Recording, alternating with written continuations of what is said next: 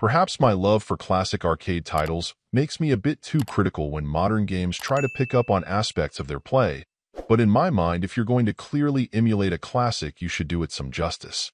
Unfortunately, the failure to even come close to matching the memorable gameplay of Paperboy, let alone in any way surpass it, started me off with a bad taste in my mouth with Death Noodle Delivery.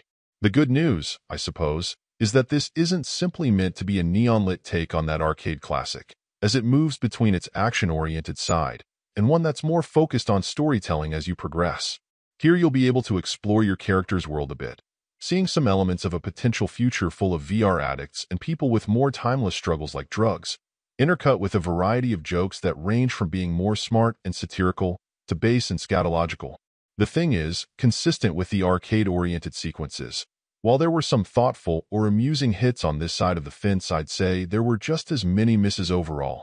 The result feels like two pretty disparate gameplay styles that have been bolted together with a veneer of neon and cyberpunk sensibilities, but not necessarily much heart or polish.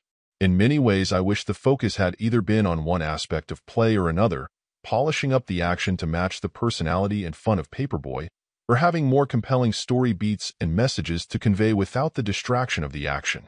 If, however, you prefer some variety and a decent effort on both sides of the coin, perhaps you could find it compelling over its somewhat modest runtime. Overall, my final score for the game ended up being a 5.5. And if you're interested in picking it up, it's currently available on the Switch eShop for $4.99. Thank you for taking the time to listen to this review. And if you'd like more information or ideas of indie games worth checking out on Switch, be sure to click on the link provided in the description. Until next time,